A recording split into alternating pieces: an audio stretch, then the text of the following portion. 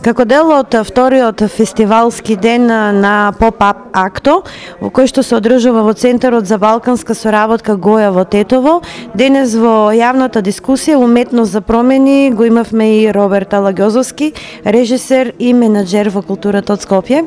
Добар ден, заврши вашата дискусија. А, каков е вашиот став околу тоа колку уметниците и уметничките дела предонесуваат за јавното мислење во една земја? Па придонесуваат многу. Така што а, не е точно дека уметноста постои заради уметност и дека таа е затворена меѓу четири зида и кога ние ќе излеземе од галеријата, од библиотеката или од а, а, театарската зграда, дека тоа останува таму затворено.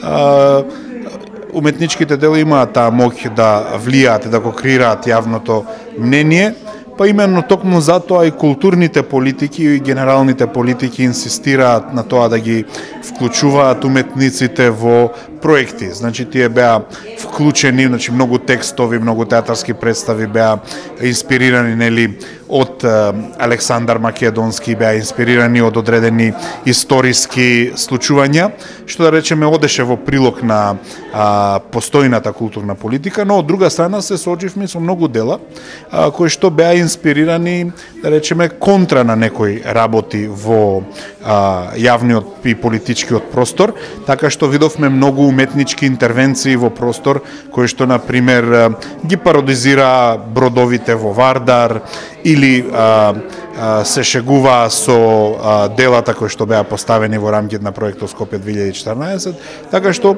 уметноста секогаш на некој начин влијаела. Во таа смисла македонската уметност се раздвиржи овие 3-4 години и на некој начин изгради подиректен однос во, во кон обштествената реалност. Вие како уметник кој е вашиот став? Која е одговорност и улогата на еден уметник во време кога постои обшествена и политичка криза? Да.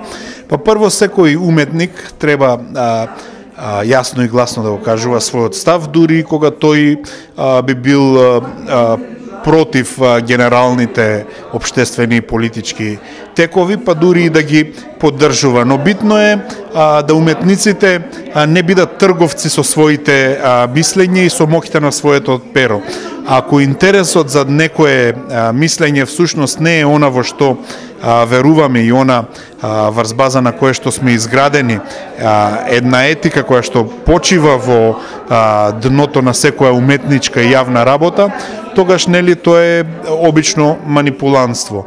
Но сметам дека уметниците на вистина а, значи треба а, да имаат став во однос на обштествените а, движења и обштествените текови и да ги кажуваат без а, премногу да се а, а, ин, а, интересира дали тие ќе ја зголемат или ќе ја намалат обштествената криза.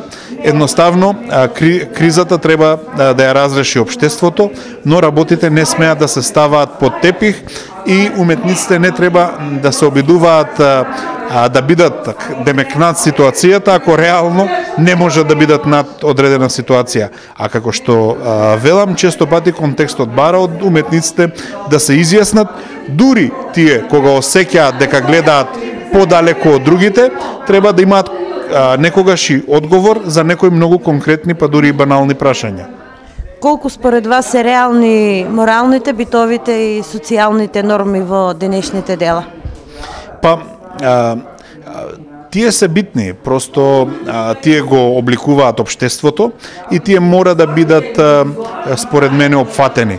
Значи, ако сега едно обштество а, а, се преокупира со тоа а, дали а, нели, дали е прашање на автократија или демократија, ако е прашањето дали имаме абортус или немаме абортус, ако е прашањето дали ќе ги поддржиме правата на, на, на ЛГБТ заедницата или не, тогаш уметниците не треба да се а, занимаваат со општи теми. Тие треба да се занимаваат и во своите дела, но и во своите јавни наста, настапи со одговорот на тие прашања. Ние сакаме умните луѓе да ни кажат а, што мислат, затоа што па на тој начин ќе видиме дали а, нивниот ум може нас да не а, разубеди или не, а и на најкој начин и ние како јавност да им го измериме умот, да видиме колку тие на вистина се и умни и талентирани. Уметноста од секогаш представувала движење на самата култура и нели воопшто на идентитетот на еден народ.